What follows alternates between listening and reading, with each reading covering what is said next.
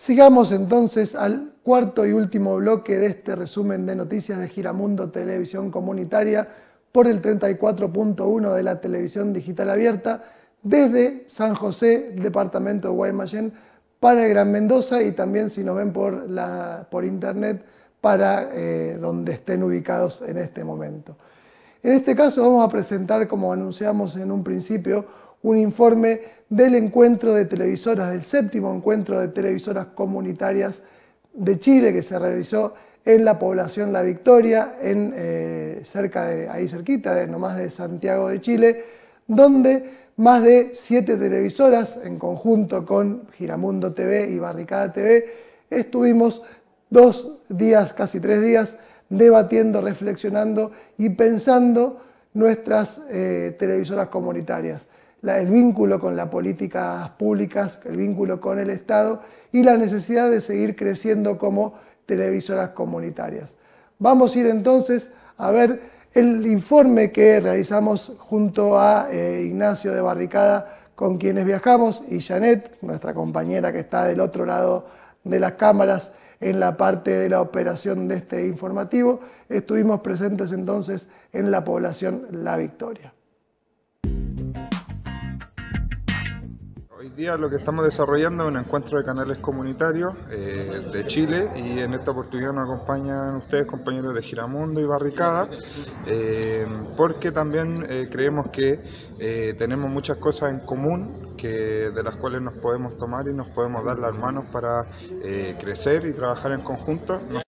sino que a nivel latinoamericano y caribeño y básicamente de lo que se trata es de que los canales asociados eh, comunitarios de Chile se juntan para poder generar un plan de acción y desarrollo de aquí a los próximos tres años. Eh,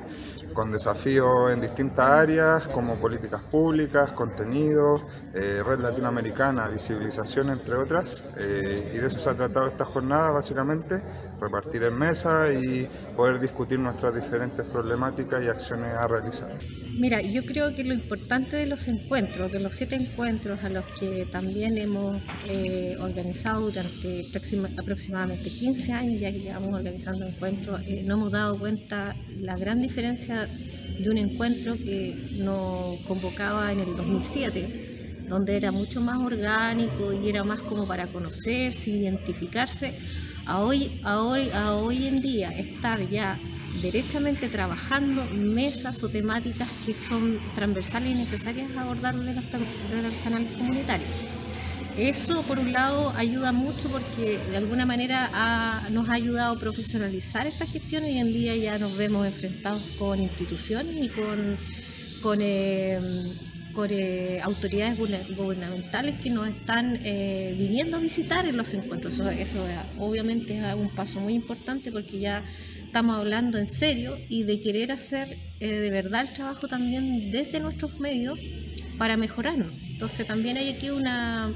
una reciprocidad entre entre evaluarnos nosotros y también proyectarnos hacia el futuro, en este caso los próximos tres años hasta el año 2025, que es lo que hemos abordado en este encuentro nacional. Desde los canales comunitarios, desde el inicio del proceso constituyente, se levantaron diferentes demandas, eh, se levantaron diferentes propuestas para esta nueva constitución. Lamentablemente muy pocas de ellas fueron tomadas en cuenta. Eh, se proponía también asegurar dentro de la constitución un reparto equitativo del espectro radioeléctrico, el cual no fue tomado en cuenta que no hubieran eh, consecuencias legales para quienes levantaran canales o medios alternativos, tampoco se tomó en cuenta dentro de la nueva constitución eh, que se garantizara el derecho a la comunicación, eh, cosa que como tal explícitamente tampoco está, por ende no se avanzó en grandes materias respecto a comunicación. Hubieron algunas ganancias, pero no las que como medios alternativos quisiéramos. respecto a Francisca, bueno, el juicio todavía está activo, la familia se ha hecho parte eh, para perseguir no solo la responsabilidad eh, de material de, lo que fue ese, disparos, sino que también las responsabilidades políticas y de la institución de carabineros de Chile que en esa oportunidad, en esa marcha, eh, tuvo un actuar súper negligente en torno al control del orden público, que es una de sus principales tareas, eh, y eh, que una investigación interna también de ellos arrojó que en realidad ellos no tenían ninguna responsabilidad y quedó ahí, nadie le ha pedido respuesta, el gobierno no se ha pronunciado tampoco contra la institución, sino que más bien la respaldó el gobierno de Gabriel Boric y eso también nos ha parecido eh, una falta de respeto también para nosotros los medios alternativos y comunitarios eh, ya que nos vemos en una desprotección absoluta en torno a hechos que se pueden dar en el cotidiano. Yo creo que principalmente identificarnos, trabajar en la necesidad de levantar un catastro para identificar cuáles son las experiencias que hay a nivel latinoamericano y del Caribe, que fue el acuerdo que nosotros tomamos en esta ocasión, porque también es importante saber quiénes somos, eh, cuáles, cuáles son las expectativas que cada canal eh, persigue, pero también identificarnos para poder aunarnos en red, de esa manera también mantenernos comunicados, pero también para que la comunidad también, a su vez, conozca eh, la existencia de estos canales comunitarios que per se durante yo creo que aproximadamente 30 años son más o menos lo que llevamos de tiempo desde la creación, desde los primeros en, la, historia de la existencia de los tiempos, digamos, llevamos como desarrollando estas experiencias. Entonces yo creo que esa es una de las más importantes en esta ocasión respecto a la pregunta que tú me hacías.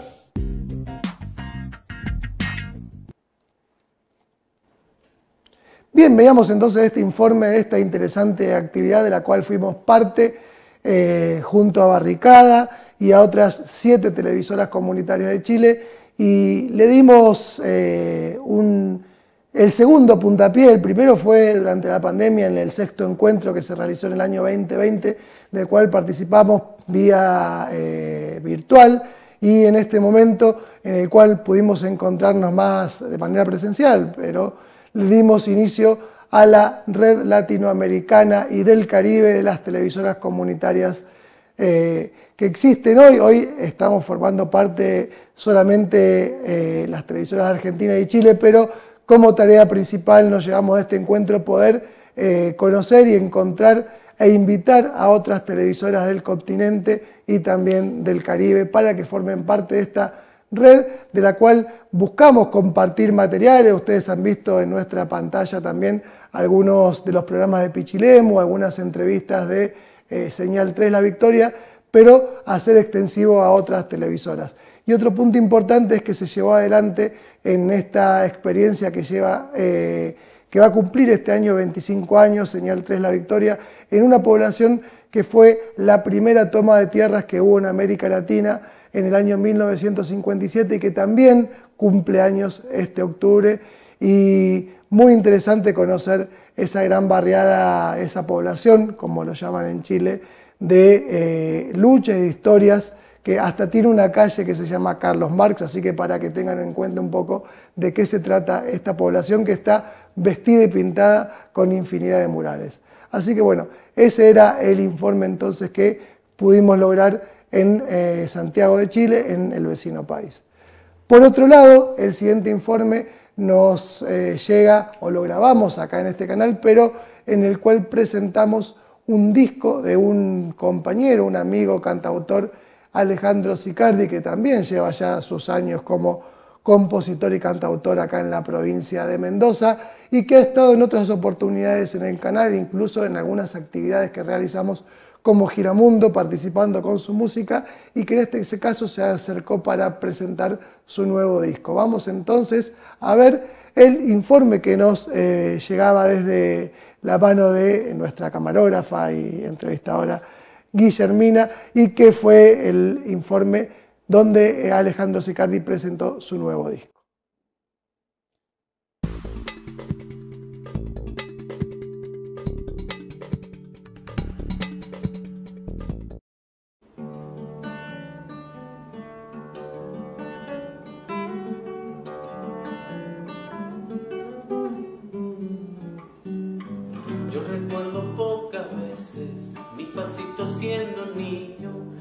Cuando en copla yo sonrío, yo sonrío. Bueno, ¿cómo están? Soy Alejandro Sicardi, cantautor de la provincia de Mendoza. Acá estamos en la provincia de Mendoza, así que no soy ajeno acá. Eh, bueno, les quería contar que bueno, ya está en las redes el primer tema del disco Solo, que es mi nuevo álbum. Eh, es un disco de 12 canciones y se va a ir presentando una canción por semana. Eh, este disco se compone de 12 canciones que son de distintas etapas de mi vida. y bueno, es un disco que tiene una temática distinta al disco anterior y al otro anterior, eh, distinta Ensayos, que fue mi, primer disco, y distinta Grafitis, que fue mi segundo disco. Este es un disco que tiene una temática más íntima, una temática de, historias más personales, eh, porque bueno, sentía la necesidad de, poder hacer eh, y hablar de otras cosas también en la música. bueno, acá tengo el disco físico, que bueno, es un disco que está, la gráfica la hice yo también eh, y el diseño también. Y es un disco en el que tiene la particularidad que se llama Solo y es un disco porque básicamente está grabado todos los instrumentos, todo lo que suena en el disco y la producción del disco está hecha por mí también. Lo grabé en mi casa, en, mi, en un lugar que le, le, denominé el sucucho, es la habitación de mi hijo y bueno, que cuando él, él no estaba yo armo desarmo su cama, pongo colchones y todo, y ahí grabé el disco en, mi casa. Eh, la mezcla la hice en el estudio Reloj de Arena de Víctor Silione y el mastering lo hice en el estudio Ojo de Agua de Omar Duarte. ¿sí? Y tiene eh, en alguna canción, tiene algunas voces y eso que grabé en el estudio Diapasón de Javier Leda. Eh, pero lo demás, todo en casa. Así es que, bueno, vamos a ver qué sale. Eh, y, bueno, este disco está eh, por ahora en formato digital, se puede comprar en formato digital, está en cada video que va a ir saliendo una vez por semana. Eh, este disco se puede comprar de formato digital y para comprarlo en formato físico como lo tengo acá o de otros tipos de formato que van a salir, bueno, está mi número de teléfono y el mail de Voz Producciones, que es un mail, digamos, del mío también, que es, digamos, quien produce este disco, soy yo mismo. Así es que también pueden consultar ahí para poder comprar los otros formatos físicos que van a ser variados. Vamos a tener formato remera, formato gorra, formato taza, formato rompecabezas y distintos formatos para que ustedes puedan obtener el disco, eh, que digamos que es algo que, con el tiempo se fue perdiendo, digamos, que puedan obtener el disco de alguna manera, eh, sin que sea solamente el CD, eh, simplemente se puede obtener también de forma digital o descargarlo con ese tipo de formato para que a ustedes les pueda quedar ese formato para disfrutarlo eh, durante todo el tiempo que dure. Así que bueno, los invito en el canal de OAS Producciones de YouTube, se están subiendo cada uno de los temas. El primero que se subió es Olvidarte, que es una vidala, y el que viene ahora, la semana, este domingo a las 20 horas, se sube el segundo tema que se llama Mirando hacia adentro, que bueno, es un escondido. Y así sucesivamente se irán subiendo las, las otras canciones. Así que bueno, gracias y gracias al, canal comunitario por la nota.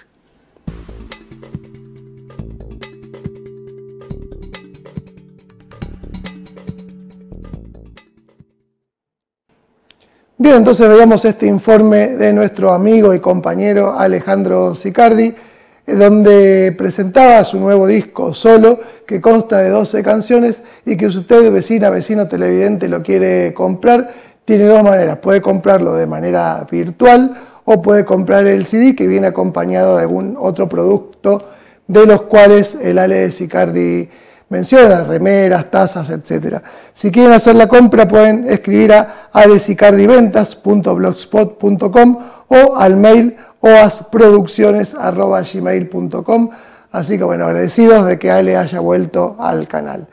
Y llegando a esta última parte del eh, resumen de noticias, vamos a contar un poco qué cosas, qué programas pueden ver este fin de semana en Giramundo. El primero, recordemos, como lo hemos venido haciendo desde principio de mes, desde, perdón, desde julio ya, el programa Infancias Vivas, que es un programa que hemos realizado a través de un proyecto FOMECA de los fondos concursables del ENACOM y con el cual contamos historias, vivencias y actividades de diferentes eh, organizaciones que trabajan con las infancias. En este caso, en el sexto programa que podrán ver el sábado desde las 12.30 en el canal 34.1, vamos a mostrar las actividades realizadas por las chicas y chicos del Bachillerato Popular Violeta Parra, ubicado en el barrio La Favorita, en la ciudad de Mendoza. Así que bueno, invitamos a ver entonces el sábado a partir de las 12.30. Y por otro lado, el programa también el informativo de Conta, que es la coordinadora nacional de televisoras comunitarias de la Argentina, en el cual varias televisoras, eh, tanto Urbana, Pares, eh, Barricada, Surajo, eh, Proacentro y nosotros enviamos nuestros informes con el cual todo el país, o por lo menos estas regiones donde sale el informativo, está representada con un informe sábados y domingos desde las 13.30 horas. Y por último vamos a presentar la agenda de algunas actividades culturales, sociales y políticas de este fin de semana. En primer lugar, sábado 20 y 27 de agosto, desde las 10 horas, en la Biblioteca Popular de Chacras de Coria, Coria perdón, se realizará un ciclo de charlas informativas de mitificación del cannabis y del uso medicinal a cargo de la ingeniera agrónoma y especialista en cannabis medicinal, Nélida Granval. Así que bueno, invitamos a quienes quieran participar a acercarse a la Biblioteca Popular eh, de Chacras de Coria.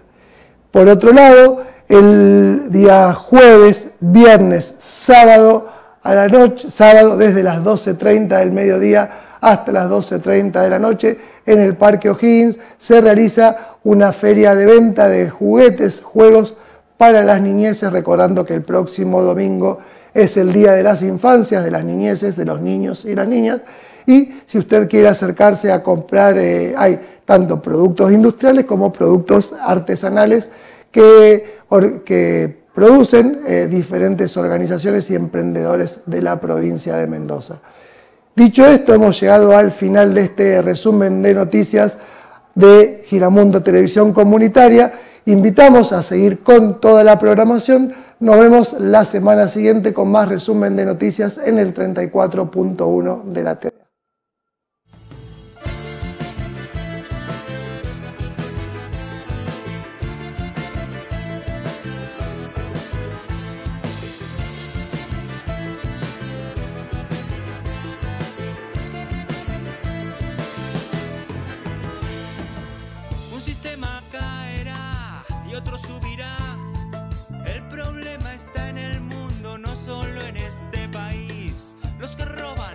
Que tapan